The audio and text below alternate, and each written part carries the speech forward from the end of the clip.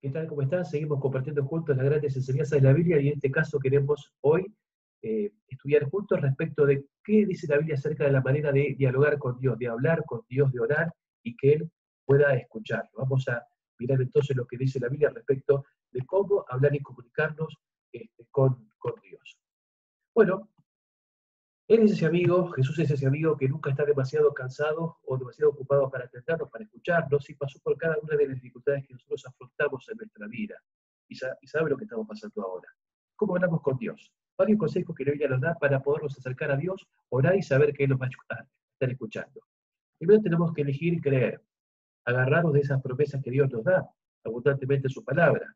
Hebreos 11.6 dice que si es imposible agradar a Dios porque es necesario que el que se acerca a Dios crea que Él está, que existe y que es galardonador o que recompensa a los que le buscan. Por supuesto, también tenemos que orar de forma específica, sabiendo que el que pide va a encontrar. Pedir y se os dará, buscad y hallaréis, llamad y se os abrirá, dice Mateo capítulo 7, versículo 7.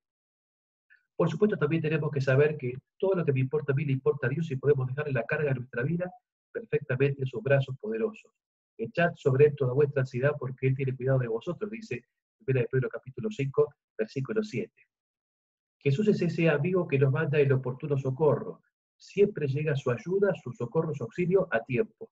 Hebreo 4.16 dice que tenemos que acercarnos confiadamente al trono de la gracia para que alcancemos misericordia y hallemos gracia para el oportuno socorro. El trono de Dios es un trono de gracia, de ayuda, de bondad para con sus hijos. Tenemos que hacer una oración consciente, no una, una este, rezo repetido, porque tenemos que hablar de forma espontánea, como hablamos en casa, así también hablar con Dios. Mateo 6, 7 y 8 dice que al orar no se van repeticiones como los gentiles o los paganos, ¿no? que piensan que serán oídos por su palabrería. Por lo tanto, no sabéis semejantes a ellos, porque vuestro Padre sabe de qué cosa tenéis necesidad antes de que vosotros le pidáis. Así que tenemos nosotros que saber que cuando oramos a Dios de forma espontánea, aún siendo como un nene, como un bebé, oramos, pedimos, Dios lo va a escuchar. Porque también contamos con el Espíritu Santo que traduce nuestras oraciones imperfectas, manchadas por nuestros pecados, Él las traduce y las purifica para que lleguen perfectas delante de Dios. Romanos 8:26 dice que el Espíritu Santo nos ayuda en nuestras debilidades, porque cómo debiéramos orar no lo sabemos, pero el Espíritu mismo intercede con gemidos indecibles, llevando nuestra oración delante de Dios. Lógicamente puede haber alguna interferencia en esa línea y es el pecado conocido, el pecado conocido y no, y no abandonado. Nos advierte Proverbios 28 de que el que aparta su oído para oír la ley, su oración es abominable. El que cubre su pecado no prosperará, pero el que les confiesa y los abandona, alcanzará misericordia. Porque Dios ciertamente no quiere privar del bien, jamás lo va a hacer a los que andan en integridad. Si hay algún pecado, tenemos que confesarlo, Dios lo va, este, a perdonar para que reanudemos ese diálogo perfecto con Él. Si confesamos nuestros pecados, se les fiel y justo para perdonar nuestros pecados y limpiarnos de todo tipo de maldad. Por supuesto, tenemos que cultivar una actitud de constante oración y orar sin cesar, según lo, este, dijo la autora Elena de White en El Camino a Cristo, página 99, consiste en que, no hay tiempo lugar en que sea propio orar a Dios. En medio de las multitudes y las de nuestro negocio, podemos enviar a Dios una petición, implorar la divina dirección y debemos tener abierta continuamente la puerta del corazón. Esa oración personal también es el secreto de la victoria y, el, poder para la vida. Tú cuando ores, entra en tu habitación, cierra la puerta y ora a tu Padre que está en secreto, y tu Padre que está en secreto te recompensará, dice Mateo capítulo 6, versículo 6. Por supuesto, la oración personal que hacemos en nuestro cuarto, en un lugar tranquilo, no tiene este, límites o tiempo para hablar, si uno tiene que orar de forma pública, lógicamente tiene que ser más breve y más este, específico y preciso, ¿no es cierto? Tenemos que siempre pedir que la voluntad de Dios se haga porque Él conoce mejor lo que, este, lo que nos conviene, Él lo sabe mejor que nadie. Si decimos algo conforme a su voluntad, Él nos oye. Él va a responder que sí, que no, que esperemos, pero siempre va a responder y las circunstancias nos van a estar mostrando cuál es su respuesta respecto de alguna dificultad.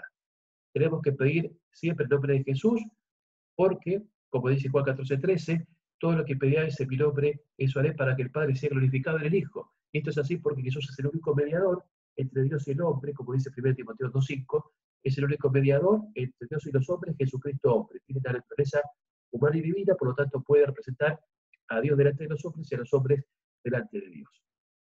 Hemos visto entonces consejos generales muy importantes para este, nuestra vida de oración.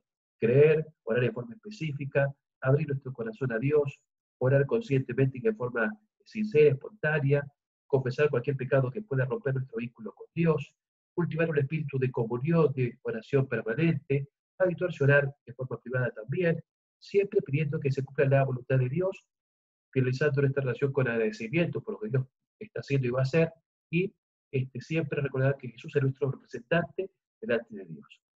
Siempre tenemos que buscar un lugar tranquilo para poder orar y no distraernos mientras estamos orando, y por supuesto, cuando vamos a leer la Biblia también tenemos que eh, ver de orar antes para que Dios aclare nuestro pensamiento y nos ayude a entender lo que tiene para, para nosotros. Muy bien, Jesús fue un hombre de oración y nadie oró, vivió como Jesús vivió porque nadie oró como él oró. Siempre tenemos que orar eh, con nuestros hijos y, acostumbrarnos a agradecer a Dios por lo que Él está haciendo en nuestra vida, sabiendo que lo que tenemos siempre es mucho más de lo que nos puede estar faltando. Eduquémonos para desviar nuestros ojos de solo problemas y ver también las bendiciones que Dios tiene para nosotros y, y nos está dando, porque realmente, como dice el Salmo 140, yo sé que Jehová amparará la causa del pobre y el derecho de los necesitados, ciertamente los justos darán gracias a tu nombre, los rectos morarán en tu presencia. Que Dios pueda siempre ser nuestro, nuestro ayudador y podamos estar en diálogo permanente con Él, como por ejemplo ahora que vamos a tener unas palabras de oración. Querido Dios, gracias porque podemos orar y sabemos que tú nos escuchas, porque podemos orar eh, caminados y dirigidos por lo, por lo que tu, tu, palabra nos dice respecto de cómo orar. Ayudas para que podamos siempre tener una vida de oración continua, permanente y poder saber que tú cuando entregamos nuestra vida, tú diriges a través de lo que tu voluntad mejor dispone. Esta cosa las pido agradecido por Jesús. Amén.